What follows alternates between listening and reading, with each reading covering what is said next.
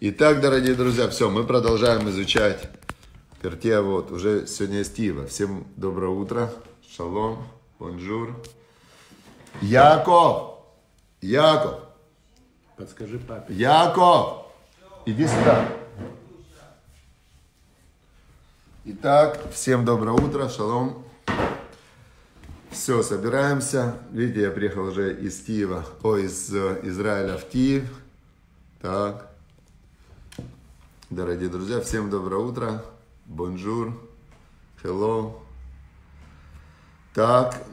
Все, всем шалом. О, Игорь Дабакаров из Ульяновска. Игорь, шалом. Шалом. Все, Евгения Шалимова. Итак, мы продолжаем изучать Пиркей Авот. Третья глава у нас. Третья глава, которая полностью говорит, как, как а, не согрешить, каким образом не зайти в опасную, в опасную зону, которая называется грех. А, там, где нет света, там есть тьма. То есть здесь очень все просто. Такого понятия, как грех, в принципе, ну, это сложно понять такому простому человеку, но это очень легко сравнивается со светом, да? То есть там, где есть свет, там, там нет тьмы. Там, где свет уходит, образуется тьма. Теперь грех это то, что Бог сказал, то, что делать нельзя, это опасно для человека. И получается, что человек не э, наказывается за грех, да? То есть он просто засунул пальцы в розетку, все, его током ударило. Можно сказать, что его наказало током. Нет, его не наказало током. То есть это последствия того, что он засунул пальцы в розетку. Как есть известная история, что в, есть вот эти вот э, травмопункты. Проводили исследования. Так в травмопунктах э, оказалось, что 50% э, посетителей травмопункта, они попали туда после фразы «смотри, как я могу». А вторые 50% после фразы «не, смотри, как надо». То есть, когда человек делает опасные действия, то, как следствие, у него бывают травмы. Хорошо. Ни в коем. Все. Да. Хорошо, дорогие друзья. Все, двигаемся дальше. Дети-подростки – это очень э, испытание для родителей. Да, у кого есть дети-подростки, вы знаете, что дети-подростки – это очень сложно. Смотришь и думаешь, ну как вообще, откуда берутся дети-подростки? Были такие маленькие, хорошие, симпатичные дети, а, а тут они стали такими подростками. Вот, ну просто удивительно, да. Теперь, значит, смотрите, мы двигаемся. В предыдущей Мишне мы выучили слова Раби Ишмаэля, Раби Ишмаэля, и Раби Ишмаэль, э, он нам сказал, что как надо себя вести с разными категориями людей. То есть с главами, да, с главами нужно себя вести э, легко, авекали рожь, будь легок для глав. Второе, э, в ноах летишхорет, будь удобен для людей с черными волосами, то есть среднего возраста, для тех же, таких же, как ты. Вава микабелет коля адам басимха. И принимай каждого человека в радости. Да? То есть мы изучили четыре способа, как войти в состояние радости. Сейчас я войду в состояние радости, значит, все, я, Яков Шатанин с нами, то есть все, я вошел в состояние радости. Яков Шатанин с, с нами, Бог с нами вообще, а когда мы учим Тору. И, конечно, тут надо радоваться, тут все есть поводы для радости. И сейчас у нас следующая мешна Раби Атива. Раби Атива заслуживает отдельного урока. Это была уникальная, легендарная личность, человек, э, знаковая фигура в передаче Торы. Э, значит, Раби Акива жил после разрушения второго храма, вот прямо он застал это разрушение второго храма. И Раби Акива, он был таким прям, ну, принципиально важным человеком в, в передаче Торы. Он, интересно про Раби Акива, он был сын Дерим, он был сын принявших иудаизм, про него сказано. То есть он э, был потомком, непонятно, он был сын или это сыном назывались потомок, э, принявших иудаизм, то есть из другого народа какого-то. И известно, что он э, начал учить Тору только в 40 лет. То есть тоже такая принципиально интересная история. И как он начал учить Тору, он был пастухом, его увидела дочка олигарха того времени, дочка Кальбы Саву, ее звали Рахель. И вот эта дочка олигарха увидела пастуха Раби Акиву, и каким-то образом она поняла, что у него какая-то супер душа. Как она это поняла, непонятно, но она ему говорит, э, Акива говорит, э, я вижу в тебе супер душу, и ты должен учить Тору. Он говорит, как я пастух, как я буду учить Тору. Она говорит, все, я выйду за тебя замуж, и ты, главное, учи Тору. И начал, начались у них вот эти вот отношения. Она приходит к папе, а папа ее говорит, вот за этого пастуха, чтобы ты вышла замуж, я тебе ничего не дам, я тебе лишу наследства тогда. Она говорит, нет, он великий человек, я вижу, что в нем великая душа, и все. В общем, нашла коса на камень, она вышла замуж, папа ее выгнал из дома. Но она думает, наверное, что сейчас все образуется, и у них рождается ребенок, а ничего не образовывается. То есть э, Араби Акива, он продолжает пасти овец. Он попытался учить Тору, у него ничего не получилось, то есть не пошло ему. И он, значит, э, пасет овец, живут они в сарае, э, спят на соломе. Есть несколько историй, когда Раби Акива, он, вот что значит Раби Акива, его, его качество, да, которое ему позволили потом стать, 80 лет он стал главой мудрецов. Так э, он, рассказывается история в Талмуде, что они спали на этой соломе, и он, значит, соломинку вытаскивает из ее волос и говорит, когда-нибудь я стану, когда великим человеком, я тебе куплю вот такую вот тиару золотую, Иерусала, Иерусалим, Иерусалим, прям у тебя будет на голове из золота, я тебе подарю. То есть он был очень позитивный оптимист. Это первое, что мы видим. Второе, тут стук в, в этот сарай, человек приходит и говорит, у меня жена рожает, а у нас даже соломы нету. Раби Атива говорит, бери нашу. И отдал всю солому, которая у него была, отдал этому человеку. У них вообще ничего не осталось. И третья, третья история, он, значит, Раби Атива идет с, с этими овцами, пашет овец. И ничего у него не получается. Сын уже пошел в хедер, там ему 3-5 лет. А, значит, вот это прошел вот этот период, отец его выгнал из дома, живут в сарае, солома, все он пасет овец, и тут он видит наблюдательность. То есть первое позитивизм, второе э, крайность в, в помощи людям. Третье, он наблюдательность. Он видит, что вода капает на камень. И он остановился и говорит, вот говорит, действительно интересно, вода капает на камень, сделала дырку в камне. Так что слова Торы, которые как э, огонь и как вода, они что, не, не сделают, э, не войдут ко мне в мозг? Он говорит, войдут, значит, я неправильно подходил к вопросу. И он идет в хедер и садится с сыном со своим учиться.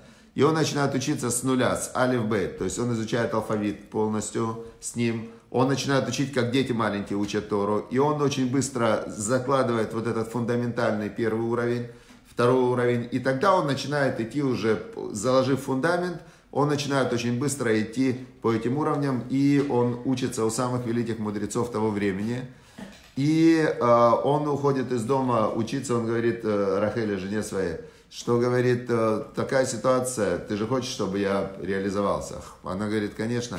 Он говорит, я на 12 лет ухожу учить Тору там, в великую Ешиву к великому мудрецу. И, значит, э, она говорит, э, хорошо, я подожду. Уже, ну, дети у них уже все. Она говорит, подожду.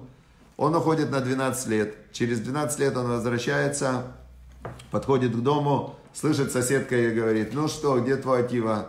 Значит, нету его, видишь, вот так ты вышла замуж. А она говорит, послушай, говорит, если еще и 12 лет его не будет, я все равно буду ждать, я знаю, что он сейчас, то, что он делает, это он получает Тору, это самое великое, что можно в этом мире делать. И он это услышал, и еще на 12 лет ушел. Даже домой не зашел. Это показывает его вот эту вот крайнюю самоотверженность в изучении Торы. И через 24 года он вернулся, с ним 24 тысячи учеников, приходят в этот город, встречают его все великие люди города, а, а он говорит, все отойдите, а и женщина какая-то пробивается. А, ну, ее толпа не пускает, он говорит, все отойдите, вот это Рахель, в ее заслугу, все, что есть, вся Тора моя, вся Тора ваша, это в заслугу ее, говорит. И ее, значит, пропустить, ее пропустили. Папа ее, ой, говорит, извините, что так вот я не распознал величие вашего заранее, полностью там, ну и так далее. То есть дальше Рабиатива это один из величайших учеников э, за всю историю. Мы положим его биографию, прям Влад Косов может найти на, на сайте, на сайте Талдотру, там есть биография великих мудрецов, он найдет сейчас биографию Раби и полностью ее выложит, да, попросим давайте Якова Шатанина или, или Влада Косова, это редактор сайта попросим сейчас а, найти биографию Раби Атива и после урока ее выложить и в комментариях к моему уроку, в описании, и отдельно можно выложить. Все, а мы начинаем учить, что же нам сказал Раби Атива. Сейчас следующий Мишнает, следующий Мишнает идут от имени Раби Ативы, и понятно станет его мировоззрение, понятно станет его, э, его величие. Вот эта Евгения Шаримова, она напомнила, что за каждым великим мужем стоит великая жена и удивленная теща. Ну, в случае с Раби Ативой это был удивленный тесть. Что да, ничего себе, да, получилось. То есть э, за каждым великим мужчиной стоит э, великая жена, ну или довольная жена, счастливая жена, и удивленная теща или тесть. Хорошо. Теперь что нам сказал, э, что нам сказал э, Раби? Давайте послушаем ту, ту мудрость, которая вошла вот в трактат Пертиавод. Он нам сказал следующую вещь. Э, значит, Раби Акива нам сказал, первое, что он относится к той Мишне, которую сказал нам Раби Ишмаэль. Раби Ишмаэль это был его хеврута, они вместе учились, они были мудрецы, как бы товарищи.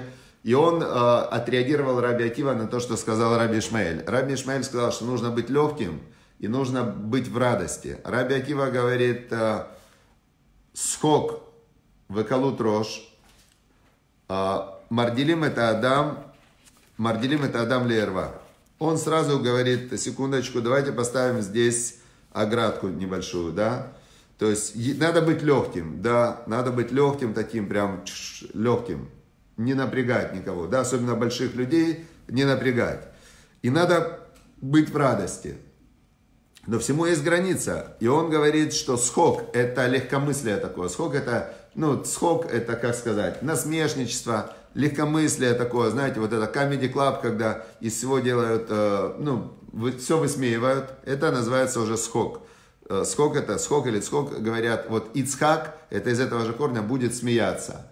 Но есть будет смеяться, а есть будет высмеивать. И он говорит, вот этот вот э, элемент пере, как сказать, слишком из всего делать комедию. В калут рожь. Калут рожь это легкомыслие. Да, все фигня, не надо париться, такое, э, пофигизм такой, да. Они морделим, они приучают, приучают человека ле эрва. Что такое эрва? Эрва это разврат. Разврат. Что такое разврат? Давайте поймем. Ну, что такое разврат? Само понятие как разврат. Разврат – это запрещенные половые связи, отношения запрещенные, но чтобы в них вступать, человек должен быть реально легкомысленный. Человек должен быть реально очень сильно легкомысленный и очень сильно, э, ну как, э, пренебрегать всеми правилами, устоями, Э, там то, что мама говорила, бабушка говорила, нельзя, там, и так далее. То есть это как бы вот это вот само понятие беспорядочные половые связи может делать только человек, который абсолютно не, не собранный в своей голове, который не управляет собой, у которого нет никаких ограничений психологических, и это все называется РВА, такая, ну, как сказать, раз, разврат это, ну, вот такая вот, как сказать, бесхозность такая. То есть человек, он себя, свое тело, свое, себя, он делает, э, ну, типа, эфтер, ничего, берите, там, типа, пользуйтесь, кто хочет. И, ну, то есть, это как бы квинтэссенция того, что человек, он, у него нет никаких ограждений, ни психологических, ни физических, потому что, особенно на сегодня, 2%, 2% сейчас больных СПИДом. 2% во многих областях, да, я видел какую-то статистику. То есть это человек, который настолько он бесхозный, не ценит себя, что он может, э, ну, как бы, даже, ну, то есть реально ставить себя в очень тяжелое положение. Так Раби Атива говорит, вот смотрите, это уже квинтэссенция, вот эта рва. А начало пути – это легкомыслие и э, комедия, схок. То есть ты ха-ха, ну, то есть я читал тоже еще одно исследование – что женщины, знаете, кого больше всего любят вообще? А, веселых. Вот те, кто юмор, там вот такое. То есть женщины, они посмеяться, вот это ага, хи-хи, легкомыслие, и все, значит, пошло-поехало. Раби Акива говорит, посмотрите, вот это начало, и хотя Раби Ишмаэль сказал, что хорошо радость, хорошо быть легким, но, о, правильно, Игорь Снежко сказал, что вот эта вот женщина с пониженной социальной ответственностью. Вообще люди с пониженной социальной ответственностью, они, э, они как бы занимаются беспорядочными половыми связями. Это было начало того, что сказал Раби Акива. То есть он установил на два прекрасных качества, легкость в общении и э, веселость внутренняя, он установил ограду. Он говорит, стоп, вот тут ограда, да? дальше они же тебя, эти же хорошие позитивные качества могут тебя привести к очень негативным последствиям, таким глобально негативным, на уровне изменения твоего характера, твоей личности. И дальше он продолжает эту же тему, и, тему барьеров и ограждений. И он говорит, Масорет сияк для Тора. Масорет это традиция, ограда для Торы. Вот смотрите, например, если мы возьмем э, такой еврейский образ жизни, да, еврейский образ жизни, такой вот, э, там посмотришь, э, вот эти хасиды такие в шапках, говорят на идыше, тут пейси такие длинные висят, бороды эти все, все такое, ну, какое-то неказистое, некрасивое. Это традиция, это просто традиция, которая является оградой для Торы. Есть известная история, как один хасид вот в таком халате с пейсами в Штраймеле, и он в Нью-Йорке живет много хасидов, и он ходил там по одной улице на работу там, и так далее. И он видел, проходил все время мимо бара одного. И в этом баре работала официантка в короткой юбке, в такой прозрачной футболке. Такая веселая официантка. И он мимо нее это ходил все время. Она все хи-хи-хи, ха-ха-ха, веселая все. И он себе понапридумывал, что он ее любит. Прям конкретно, что вот, э, прям вот она такая веселая, все. Теперь, значит, он себе все это понапридумывал, ему внутри его злое начало через фантазию нарисовало, как все у них будет прекрасно. И он в один... А он же не может не зайти в этой одежде. То есть он одевается, как одевался его папа, дедушка, все этот халат, эти чулочки такие, это вид такой.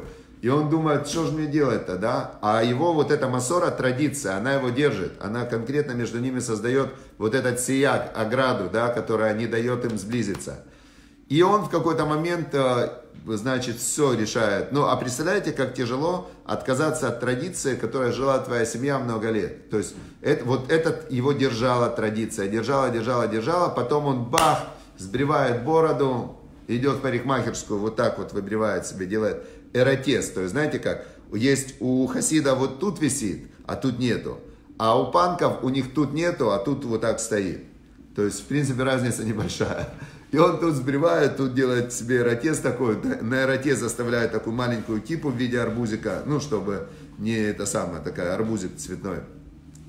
И, значит, э, снимает халат, одевает тоже футболку, джинсы рваные, такие рваные, чтобы модным быть, это на коленях такие дырки у него, тут вообще такие прям модные дырки на коленях, как будто он лазил по асфальту на коленях, да, э, значит, короткие обязательно джинсы, и он такой подходит, значит, с ней знакомится, и он переходит через дорогу, и его машина сбивает.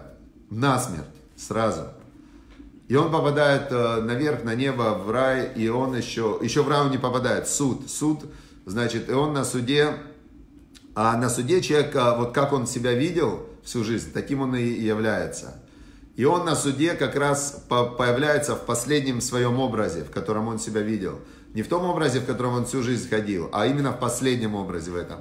Рваные штаны, ротез вот этот вот, типа как арбузик маленькая. И он, значит, э, на суде ему говорят, вы кто? Он говорит, как кто? Я, я мой Шахаем Альберштам. Ему говорят, подождите секундочку. Ой, простите, не узнали, говорит, не узнали, ошибка вышла, мы вас вообще не узнали. Но это такой анекдот, который, э, который показывает, что сущность человека – она меняется в зависимости от его внешнего вида и наоборот. То есть это очень связано, его самовыражение.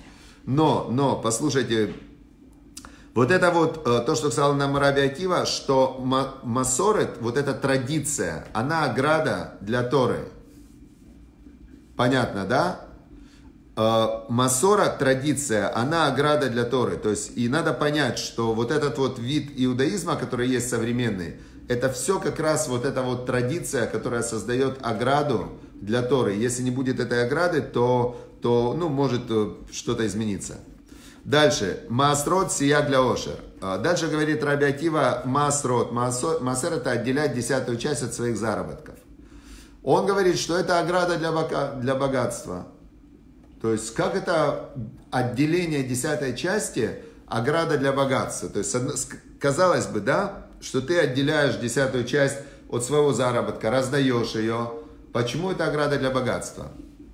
Во-первых, э, это проверка веры человека, причем Бог сказал так, э, есть, э, я не помню в каком это пророк, сейчас, значит, Сиак Литура, Маастрот Сиак Ляошер. Написано Асер те в трактате Таанит, что Бог сказал, Бог сказал, что, говорит, хотите меня проверить, отделяйте Маасер. Тот, кто отделяет Маасер, он разбогатеет. Это, говорит, я вам обещаю, это можете мне сделать проверку. И вот здесь это очень, я просто по себе знаю, это очень тяжело отделять десятую часть, особенно когда тебе не хватает. И ты думаешь, ну как же так, может потом, может это, может отложить как-то. Ну, ну не хватает, реально не хватает. Ну, значит, Бог поэтому сказал, проверьте меня в этом, этим.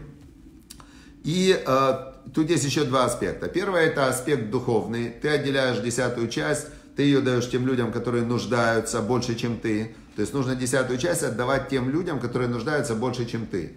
Ты им, э, давая эти деньги, ты создаешь как бы канал, что для них вот эти деньги, которые ты выделяешь, они для них это как ман, как с неба, да, то есть я стараюсь помогать тем, кто изучает Тору, у кого нет денег. Те, кто посвятили себя изучению Торы э, в земле Израиля, потому что это тоже проверка веры, да, кто едет в землю Израиля. То есть Бог же сказал, что эта земля там особая. И вот эта вот проверка, тот, кто посвящает себя Торе, и особенно в земле Израиля, с моей точки зрения, это святые люди, и им надо помогать, э, им надо помогать. Так вот, для них любая копейка, это, это огромные деньги, которые идут с неба, это как ман.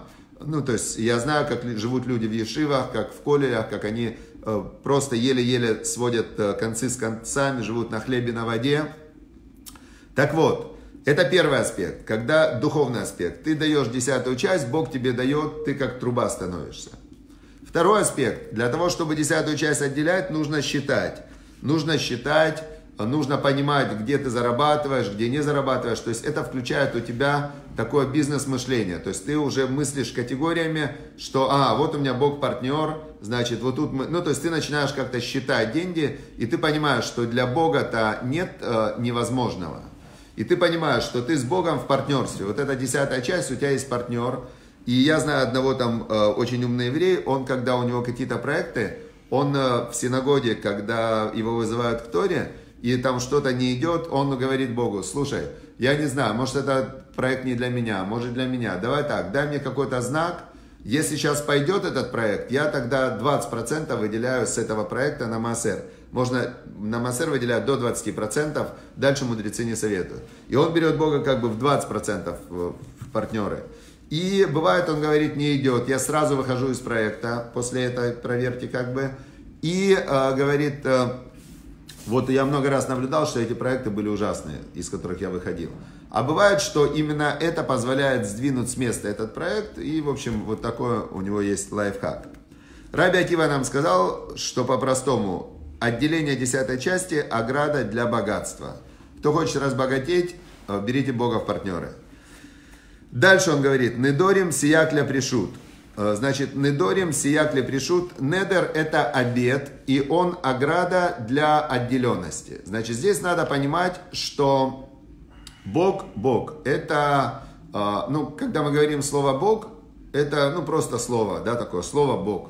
Бог создатель мира, творец, э, который поддерживает существование всего мироздания. То есть это, ну, это просто не это то, что внутри всего мироздания. Мироздания, не Земли, не а Вселенной. Да, вся Вселенная держится на божественной, э, как энергии, на его, на его, на Боге, скажем так. Это Бог.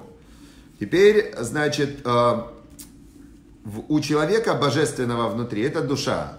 То есть душа тоже непонятно, как это божественное, оно внутри находится, значит, а, как оно внутри находится, это божественное, как оно выражается, то есть это все очень тоже непонятно. Как непонятно, как Бог внутри мироздания, так же непонятно, как душа внутри человека.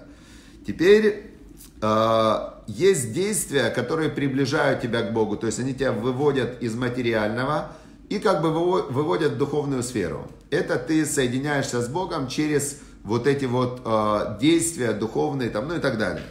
Теперь Недер – это обед, э, обед, который ты как бы с Богом лично договариваешься. Пришут – это отделенность от э, разрешенного. То есть есть люди, которые, они как бы вообще решили выйти из материального вот этого вот э, состояния и полностью а, отделиться от этого материального и идти в божественное, в духовность. Есть такие люди, как профессионалы служения Богу. То есть во всех, во всех там направлениях есть люди, которые прям лезут на эту гору духовности со всех сторон. Они лезут к одному и тому же источнику, к Богу. Э, то есть как бы на, у подножия горы, когда все только рассуждают о Боге, там у всех много разных э, расхождений. А вот э, когда человек лезет на эту гору, то чем выше он поднимается в духовности, тем э, больше он видит, что, ну, как бы Бог, Он един. Он единственный создатель мира, единственный творец, единственный э, источник всего, да, то есть чем выше человек в этой духовности, тем он больше это ощущает. Теперь, но по пути, когда он лезет на гору, у него есть препятствие, это его же, вот эта животная природа, то есть это так специально сделано, чтобы ты преодолевал эту животную природу. И в этой борьбе есть такой лайфхак, который называется обеты. Когда ты э, сомневаешься, сможешь ты выдержать какое-то вожделение, там, вожделение или не сможешь, и ты э, говоришь, вот это я беру обед, и ты объявляешь вот это вот то, что тебя, как бы, твое вожделение, ты объявляешь это недером. Недер это как... Ну, в общем, я не буду сейчас рассказывать тонкости, потому что туда лезть не нужно. Это, это инструмент духовного роста только людей, которые реально понимают и знают, как им пользоваться. Но мы просто здесь э, из этой мешны мы знаем, что есть такой инструмент, который позволяет, э, позволяет лично договариваться о чем-то с Богом и э, себя отделять от каких-то своих материальных там вожделений, которые тебе мешают двигаться наверх. Это называется обеты. Обеты – ограда для отделенности. Дальше он говорит, Последняя. Сиягли хахма штика. И он говорит, ограда для мудрости божественной, молчания. Вот тут очень интересно это последнее, то, что он говорит. Значит, если мы рассмотрим сначала Пертиавод, то многие мудрецы говорили о том, что, например, э, Раби Шиман в первой главе, он говорил, что Коля Май Гадаль тебе на Хахамим. Всю жизнь я рос между мудрецов. Вло мацати лягу в то в миштика. Не нашел ничего лучше для тела, чем молчание. И еще есть другие, там, Альтар Бесихай Майша, не, не умножая разговоров с женой, а, Бейштом Рухахамим, то есть именно жене сказали мудрецы, тем более женой товарища. То есть разговор это, а, значит, Коля Марбебе Дворим и Вихет. Каждый, кто много говорит, он приводит грех. То есть, что значит молчание, э, ограда для мудрости? Когда человек молчит, вот молчание золота есть такое да, известное выражение. В Мишле царь Соломон говорил, что даже грешник, который молчит, э, он за, за мудреца может сойти. Молчащий грешник, он за мудреца может сойти. То есть, э, когда человек говорит, в любом случае он искажает реальность, в любом случае. То есть, вот если вы посмотрите на любое, ну, на любое слово, которое человек произносит или думает, то это слово является э, как бы слабым подобием той реальности, на которой это слово показывает. То есть даже когда вот я скажу, вот книга, да, книга, вот если я скажу слово книга и покажу книга, это же разные вещи. Когда вы смотрите на это, да, видно, что это книга. А когда вы слышите слово книга, это всего лишь звук книга. Все. То есть это, это слепок, это э, ну, какой-то ярлычок такой, да, ярлык. Теперь э, человек все время находится в обмене вот этими ярлыками. Он все время мыслит словами, и вот эти вот нагромождения, это такие как искусственные облака такие, все время летают у него в голове, потом он, ими, он их высказывает, эти звуки, другой эти звуки хватает, сам их во что-то интерпретирует. То есть вся вот эта вот искусственная реальность, построена, построенная словами, она иллюзия, она, если можно так назвать, пустое и чаще всего обманное, да, потому что э, когда человек, он что-то кому-то рассказывает, скорее всего, скорее всего, он хочет добиться чего-то для себя э, не духовного. Вот, например, мы сейчас изучаем Тору, то есть цель какая у нас? Постигнуть божественную мудрость. И то, то, что я рассказываю, как я это рассказываю, это все равно, ну, слабый-слабый отпечаток, слепок такой от, ну, даже, я не знаю, дымок такой, да, от божественной мудрости. Вообще даже, ну, дымок-дымок, прозрачный такой. Теперь любые слова, любые слова, они искажают. И тот, кто хочет постигнуть по-настоящему душевную божественную мудрость, он должен вниманием пройти между слов. То есть вот попробуйте, а, попробуйте просто воспринимать мир, вот, вот этот вот тишина, промежуток между словами. А, и тогда вы постигнете настоящую божественную природу себя и мира, да, то есть только в тишине.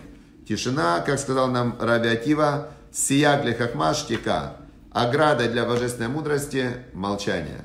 Все. Поэтому замол, замолкаем,